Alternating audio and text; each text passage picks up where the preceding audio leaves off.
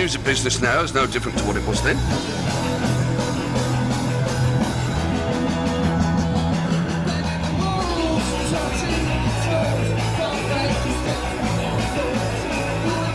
Because they look quite beautiful, but weird. Barry's lifting his shirt up, tempting them, you know, showing them kind of where the join was.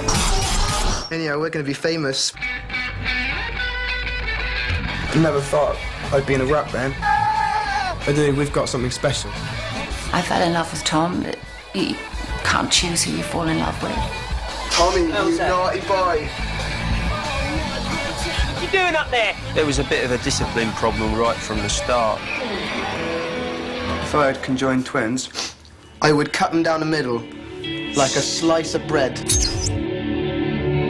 I'm actually writing an article about exploitation of the physically impaired. Speak to Tubbs, she's got a dodgy ankle.